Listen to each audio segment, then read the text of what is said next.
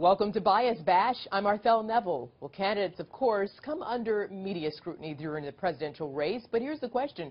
Are the candidates' supporters also fair game? This New York Daily News cover making waves this week, painting Trump supporters as brain-dead zombies. Joining me today with her take on this story is Pulitzer Prize winning investigative reporter and Fox News contributor Judy Miller. Good to see you, Judy. Nice to see you. So what do you make of that cover?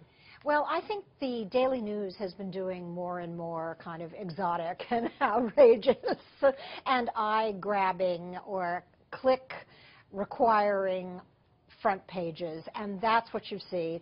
I was not stunned by it because uh, we've seen this from other media outlets as well. I think in general, Arthel, the media are having a tough time figuring out how to cover, in particular, Donald Trump. Uh, if you remember, the Huffington Post originally decided that it was only going to cover him in the entertainment section.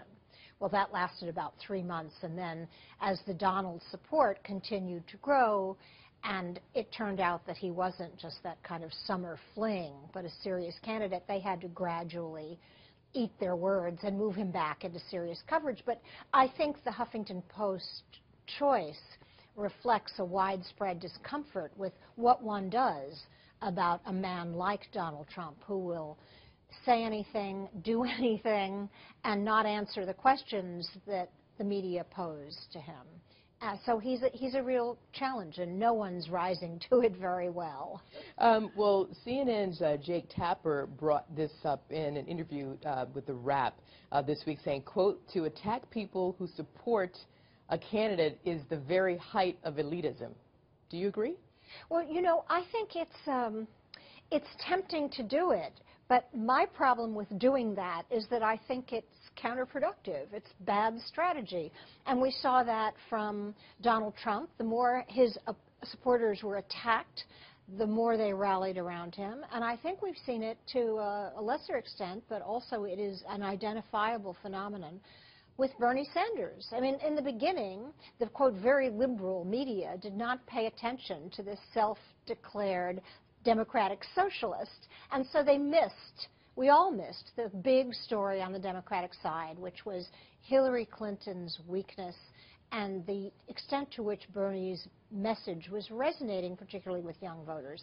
But Bernie Sanders understands that you can't attack Hillary Clinton supporters because they're now flocking to him. And Hillary Clinton has had to be very careful, as we saw with Madeleine Albright's assertion that there's a special place in hell for women who don't support other women.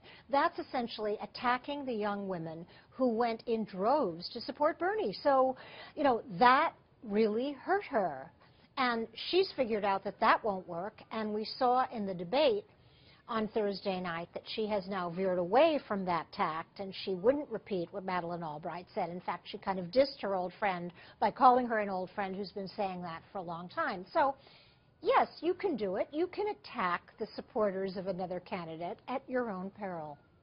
And we leave it there. Always good to talk to you, Judy. Thank you very much. And to Thank hear you. more media analysis on this week's top headlines, catch Media Buzz with Howard Kurtz Sundays at 11 a.m. Eastern and again at 5 p.m. Eastern on the Fox News Channel. I'm Arthel Neville. Thanks for watching.